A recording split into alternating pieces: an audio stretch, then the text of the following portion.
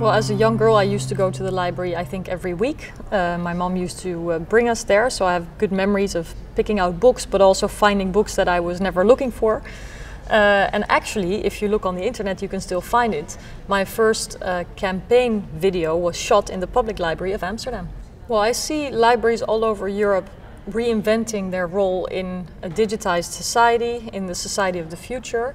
And I actually think this offers really exciting opportunities. It, it will be a reinvention, and uh, I saw that exercise happening here today. There's very active engagement with the neighborhood, a very active engagement with uh, people living in Tilburg to ask them what do they want with the library. And I think that that's the way to go, to have a bottom-up organization uh, and truly making this a place for people, where they can go on the internet to find jobs or to look at cultural heritage or uh, where they simply come with their children to uh, find books to read together uh, to, uh, to foster education and literacy. So there are a number of functions that can happen in a library. Uh, some traditional that we know, like reading, but some new ones like accessing information digitally or even working together with people who are uh, working on the development of skills. Uh, I've seen uh, 3D printers here in the library and uh, uh, there are initiatives to bring different generations together to share uh, experiences, stories, and I think that that is all very exciting.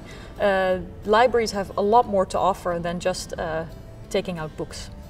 Well, libraries are usually uh, very much in touch with local politicians. Uh, local rules apply to uh, their work and what they can do in the communities. But in Europe, we also have an overall agenda to make sure that Europe stays a smart, connected, digitized, and employed continent. And especially when it comes to employment, we still have massive problems. There are far too many people unemployed, and there's a real risk that the young generation will pay the price of a crisis that they didn't cause.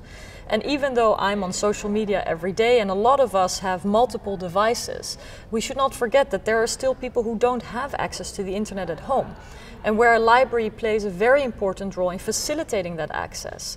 Uh, most people find jobs online these days and digital skills are increasingly important for employability. So I believe that libraries should also be a place where uh, searching for jobs can be easy for everybody, where the development of skills, particularly digital skills, uh, is something that can be fostered and trained.